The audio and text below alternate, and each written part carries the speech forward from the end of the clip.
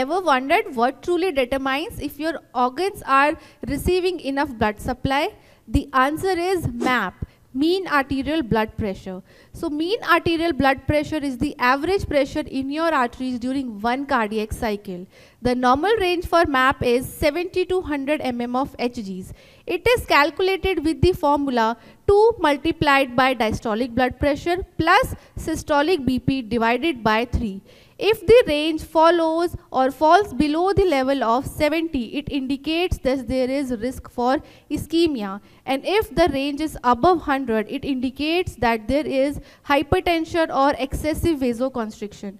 So the next time when you check the blood pressure, Go a step ahead and calculate the map and make informed decision. Map is one of the key parameter which helps in making informed decision about the management of sepsis, shock and trauma.